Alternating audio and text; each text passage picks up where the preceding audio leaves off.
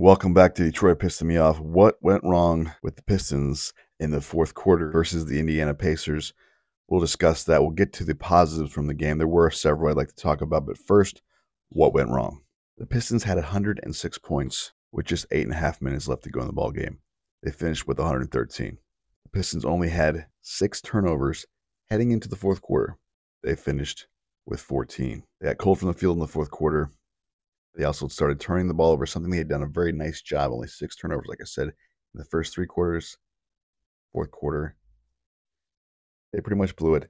They lost by 22, 39 to 17 in the fourth quarter. You got a high octane offensive team like the Indiana Pacers. They were able to stay neck and neck the entire game, but they just lost it at the end. It's been a, a reoccurring theme here this year as they've now lost 13 straight ball games and are now 2 and 14.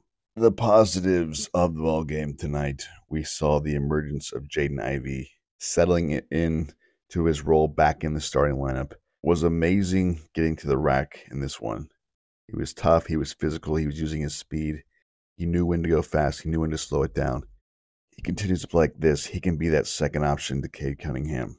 Now, Cade Cunningham, remarkable first half in this one. He did finish with 31, but he scored 22 points didn't have a single turnover till the end of the first half. He did finish with four overall, so he had three in the second half, and then Jaden Ivey had three turnovers as well.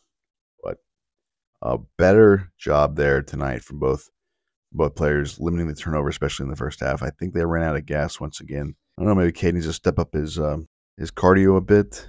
Fourth quarter, he hasn't been clutch like he has been in the past. Yeah, I put this one on Cade Cunningham. He's the leader.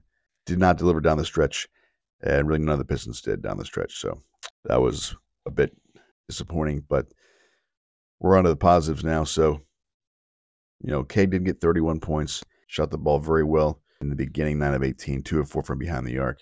But then it finished like uh, 10 of 26, so he struggled. He was taking good shots, good medium range jumpers. They just weren't falling there in the fourth quarter. But he's got to take over the ball game. He's the leader of his team. He'll have to shoulder the responsibility for that. In the wins and losses, right now the losses are piling up. But I think soon, hopefully, on Monday, we play the Washington Wizards, a team that is right on the level of the Pistons. They just have a couple victories as well. So Pistons will be at rock bottom if they fall to the Wizards on Monday. It was great to see Jalen Duren back in the lineup. He played pretty well, 5 of 10, got a double dub.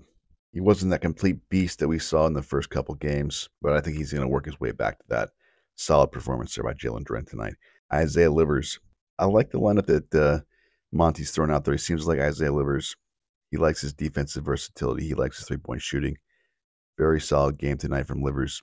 Finished three for five from the field and two for four from downtown. Also, I'd say Jay Ivey defensively tonight. Some solid improvement there on the defensive end. Got a steal, got a block. Effort's usually there. Ausar Thompson, very efficient game, four or five from the field. Sasser only got five minutes tonight.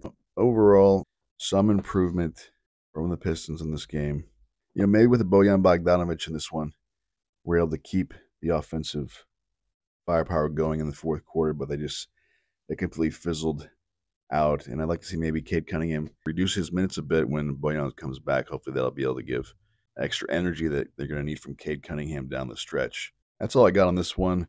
We'll be back to discuss the Washington Wizards game on Monday, if not before. And I'll see you next time on Detroit. Piston me off. Smash that like button, subscribe to the channel